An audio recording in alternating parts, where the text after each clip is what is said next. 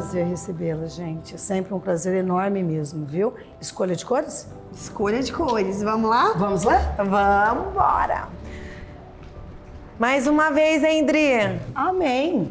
A Lelinha e o Guilherme, eles são. Eu gosto muito dos tons mais frios. Tons de cinza, né? Eu sempre é, uso muito esses tons mais frios. Mas eles gostam muito dessa coisa mais terrosa. Mais quente. mais quente. Então eu queria uma cor para casa inteira no interior, Certo. né? Com essa pegada mais pro bege, Ok. né? Mas obviamente não muito escuro. E também não Então- muito amarelado, aquele bege mais clássico. Isso, sem ir pro amarelo. A escolha das cores é extremamente importante num projeto de interiores. Eu tinha pensado nos tons mais frios, trazendo a, a- a- ideia da, da arquitetura, que nós temos os tons concretos também, porque eu gosto de tons mais frios. Mas ouvindo o cliente, avaliando né, toda a escolha que a gente fez de acabamentos, tons mais terrosos, no caso a gente está usando travertino, estamos usando muita madeira, e aqui a gente definiu por um tom terroso. E é muito importante ouvir o cliente para escolher a cor que vai compor nesse projeto de interiores. Nossa, gente, mas é por aqui que a gente escolhe. Só tudo isso. É só. Gente! Seguindo o briefing que você me passou, o que, que eu vou fazer? Pegar algumas sugestões, tá? E depois o que, que a gente faz? Testa no local, lá na obra, pode ser? Perfeito. Então vamos lá. Algumas cores dentro, uns tonzinhos mais suaves. Eu, eu gosto, assim, com base no, no, no projeto, como a gente está usando muita marcenaria, tudo, eu gosto de escolher uma cor base para tudo. E tem- temos a cor do, do lavabo também. Ah, é verdade. né, pra Sim, escolher. lavabo. Sim. Ele é bem Mas- terroso o lavabo, Mas né? é. Mas no projeto a gente não é, não definiu, não não tem essa coisa de pintar uma parede. Entendi. Então a gente fez uma, uma Geral. é, Só uma- lavabo. só o lavabo. No tom é. diferente e o Isso. história depois a gente faz isso. Isso. Dentro de um tomzinho mais quente, é claro que a gente teria que ver nessa área, nessa área, tá?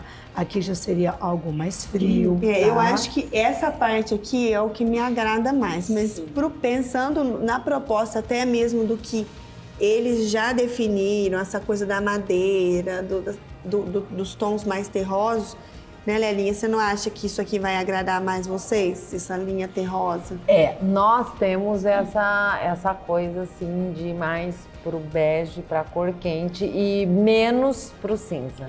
Menos pro cinza, menos pra E cor tem algo fria. muito importante que a Sarita falou, que ela ressaltou. O que que acontece?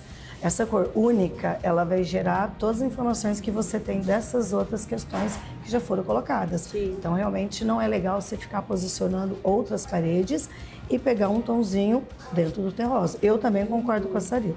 Agora, é o seguinte, eu falo que eu gosto mais, né? Nós gostamos mais desses tons, mas a parede vai ser branca, né? Lelinha, a parede vai ser clara, só que a gente vai. Eu acho que a gente. é, foi muito até importante você ter falado isso, porque assim, o que, que a gente pode trazer? A, a gente pode iniciar essa escolha da tinta através do seu próprio piso. O seu piso, ele é um travertino, Sim. que é um tom terroso, Sim. né? Então a gente pode trazer essa informação que é para trazer para as paredes. Perfeito. Né? O tom do travertino, por exemplo, eu amo, acho lindo. Só não pode ser branco. Pronto. É, não, branco não, mas o que eu quis dizer assim, ela vai ser claro. Isso. Sim, sim, Então, ela, vai, é, ela vai ser clara. Adriana, é, dentro do que a gente conversou aqui, de- é, desses tons, tudo, eu acho que essa cor aqui, ela vai entrar muito bem dentro do, do travertino. O que, que você acha? Eu achei perfeito. Você acha, você, Lelinha? Lelinha? Amei. Amor? Eu amei. E pro adorei. lavabo, eu tinha a princípio pensado num tom mais aberto. Mas olha só que bacana isso aqui na, na bancada, naquela proposta que a Ai, gente. chique, hein? Mais, mais fechado, né? Nós podemos até fazer isso aqui, ó. Olha que bacana. cor. Peraí. Ó. Nossa, aí eu vou fazer até o que você Será fez, que o Guilherme ó. vai gostar? Ah, tenho certeza, bem, vai amar. Ele disse que a última palavra é a dele sempre. É? Pode ser. Sim, senhora. então, acabou. Pronto. Fechou. Fechou? Fechou. Vamos fazer os testes? Vamos lá. Combinado. Lelinha, que forma que nós vamos trabalhar? Que é algo inovador que a gente leva para os nossos clientes e com certeza você vai fazer uso disso também, tá? É o cashback. O que que é o cashback? Uh, em relação a essa escolha de cores, das dúvidas que a gente tem, todo mundo quer testar, por tudo que a gente já conversou, né, gente? É a alma, isso aqui é a gente, é a nossa casa. Então, o que, que a gente faz? Uh, escolhe as cores, a gente vai, faz dela no preço de custo para você. Quando você for fazer a compra do material, a gente referte isso em cashback para ti. Ai, que legal! Quer dizer que então essa tinta que vai ser feito o teste de esse teste de cor é como se a gente não pagasse. Isso. E dentro da linha da Futura, acabamento acrílico fosco prêmio, acabamento acetinado, independente. Ai, que legal, adorei. Perfeito, obrigada. Perfeito, né? Bom, e depois sempre aquele precinho bom. Albert Tintas sempre faz preço bom. Pode Eu ficar sei. tranquilo em relação a Eu isso. sei. Aí eu mando o patrão. Eu escolho as coisas com a Sarita. E o patrão E o paga. patrão assina o cheque, dá o autógrafo. Fechou. Então vamos combinar da gente lá? Vamos. Perfeito. Perfeito? Escolher a Uber Tintas não foi por acaso. A gente tem um caso de amor antigo. Conheço a Adriana há muitos anos, conheço os meninos da Uber Tintas, que têm um trabalho maravilhoso, que trabalham com a Futura, que é uma marca super bacana, uma marca deles, que traz um acabamento perfeito. Cheguei já a usar em várias obras que eu já fiz, em reformas. Quer dizer, na hora de fazer a casa dos nossos sonhos, eu não poderia ir para outro lugar.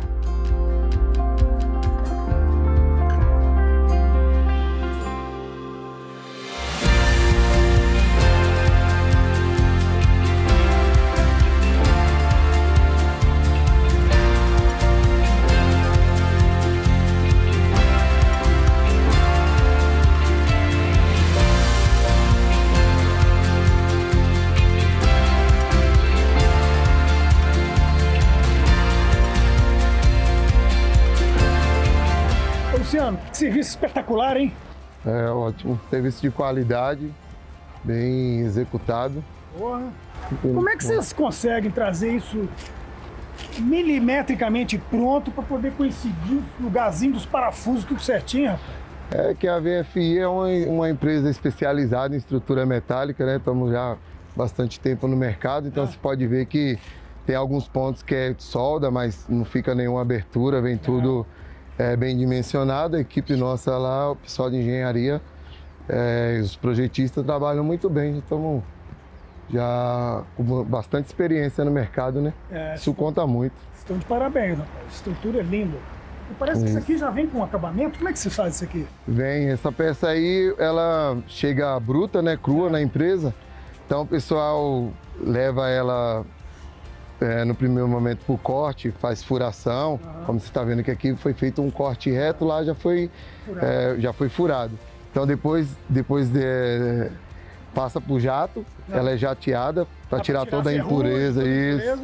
Depois vem com a tinta de fundo, né? Que é essa aqui? E não, antes dessa ainda tem uma outra, uma outra tinta de Tipo um fundo. zarcão? Essa daí, isso, é um PU que é um fundo. E aí já é uma tinta de acabamento. Essa tinta, se quiser, pode deixar ela como, como Pode. final, se quiser. Pode só fazer uns retoques aí, procurar não marcar muito e É. pode deixar aí que dura bastante tempo aí sem precisar de manutenção. Deixa eu te perguntar uma coisa.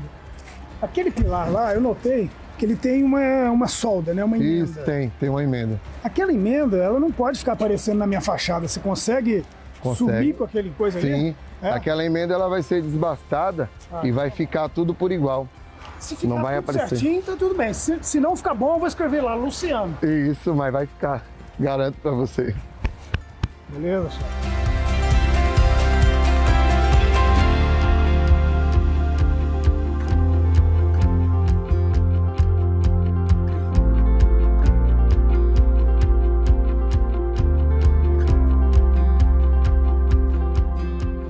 Entrega espetáculos aqui. isso é um Nossa. presente, isso é um presente. Você viu, o telhado que eu falei, vem coroar todos esses blocos, essa dinâmica. O que, que você tá achando, Guilherme? Eu tô achando um espetáculo, cara. Eu não tinha noção dessa dimensão, É, entendeu? é, é. Que agora que a gente tá aqui, que a gente vê a dimensão dessa coisa. Esse negócio é, é brutal. Mas, é. Mas, ao mesmo tempo que é tão grande, é muito leve. É muito. Você vê que as chapas foi projetado, foi calculado. O pessoal tem uma dinâmica muito boa de montagem. Vem e resolve. Pois é isso tudo aí que a gente Você queria. viu tudo etiquetado, Tudo etiquetado. tudo organizadinho. Tudo que, que eles mandaram pro projeto tá aqui. É, né? Perfeito, Guilherme. Do jeito que você recebeu o projeto lá, você tá vendo aqui? Igual, até os parafusos. Que legal. Isso é bom. Esses meninos são fera. Então o seu filho tá nascendo, então. Já já tá pronto.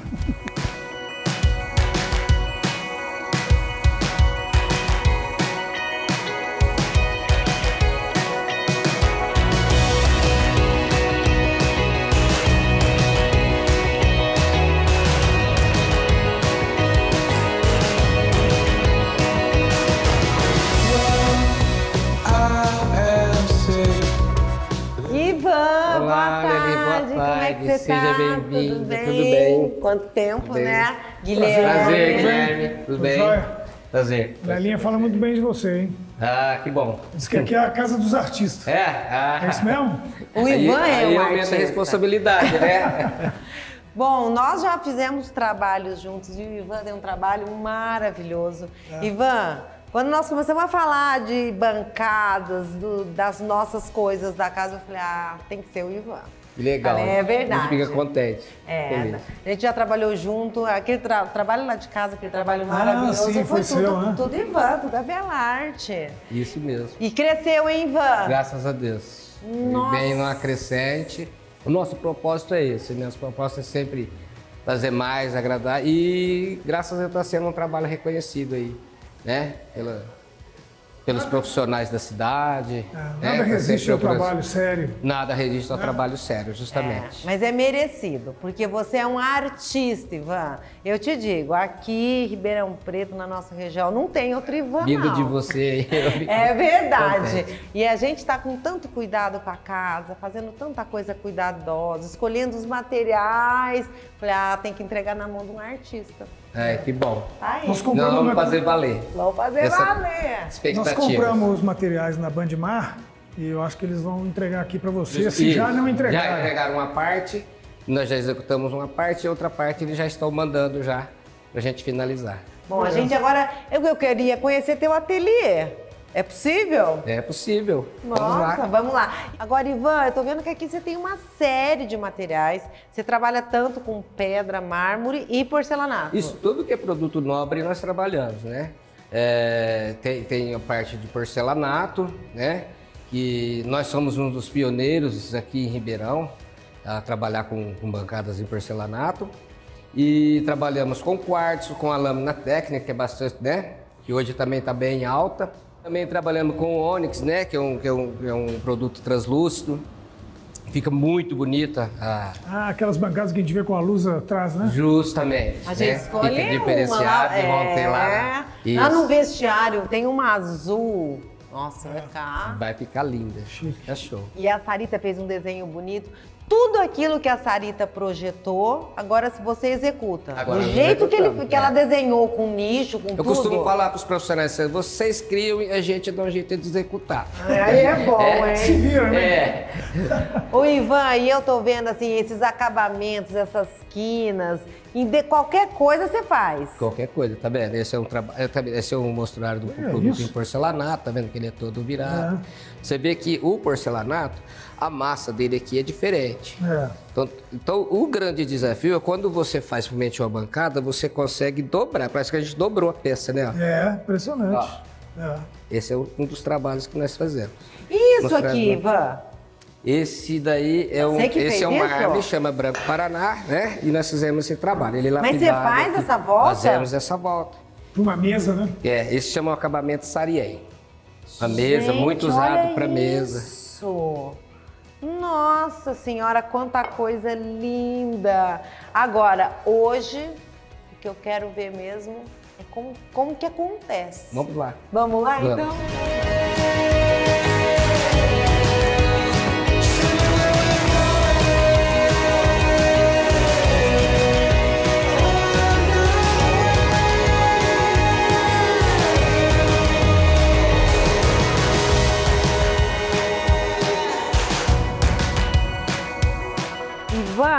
Mas eu adorei isso aqui, gente. É, você tá vendo? Tem uma, li- uma, uma lixeira portátil, vamos dizer assim, né? Tá vendo? E você, Você corta. vê, ela não ocupa espaço da cozinha, É. né?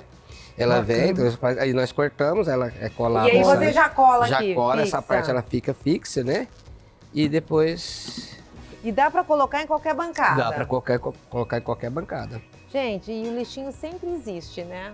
Não, e o lixeiro em cima da pia, feio. É, você fica com o espaço limpo, né? É, muito bom. Gente, que beleza. Isso aqui é, uma, é pedra. Isso aqui é uma pedra, isso é um granito, né? Esse é, um, é aquele preto São Gabriel que todo mundo conhece, porém ele é escovado, tá vendo? Ele dá uma cara É. nova, Bacana. né? Aqui vai a torneira. Isso. Aqui vem um dispense de detergente, né? Olha que legal É. aqui. Isso. E fica lá por dentro? Fica. É, o dispense ele fica com, com a bica aqui. É, o que você, é tipo um touch. né? Você aperta aqui e sai, sai o detergente. Que beleza. E ele fica um bujãozinho lá por baixo, mas você recarrega ele todo por aqui. Você puxa, ele abre, você Ó, preenche com o detergente e num clique ele sai. Que beleza. Não precisa colocar, não precisa, né, não precisa estar com aquele... Fica com a bancada livre, é, com né? aquele pote de detergente do lado aqui da... Nossa, adorei. Isso é a tal da cuba úmida? Da- Esse é a calha, né? Calha úmida. É, a calha úmida, né? Isso aqui você- é o talher que você lavou? você Talher, põe aqui? tem- e tem, tem espaço para talher, tudo, né? Esse aqui, ele substitui aquele escorredor Ah, que escorredor. fica assim na, na pia. Nossa, muito chique É, demais. tecnológico.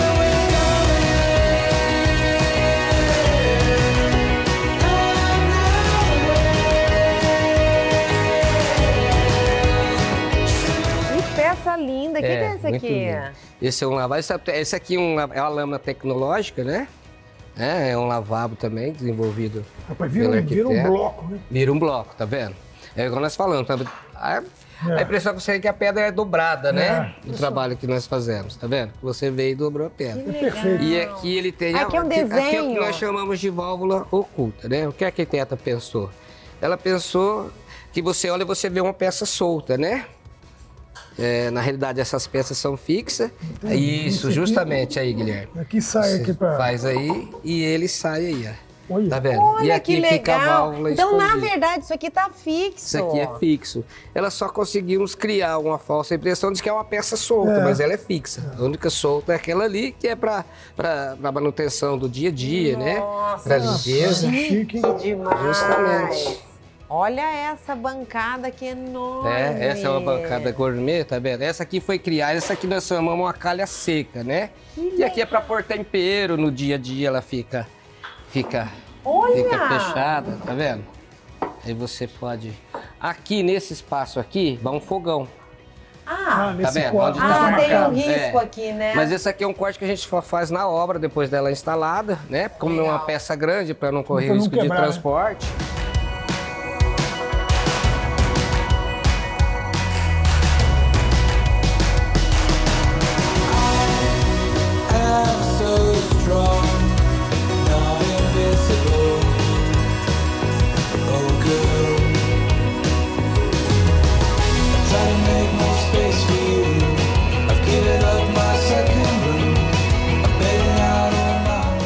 Agora nós estamos num dilema aqui. Porque esse aqui é o bege Bahia. Esse Esse, que é o bege Bahia. Bahia. É o seu bege Bahia. É esse aqui o nosso. É esse daqui, né?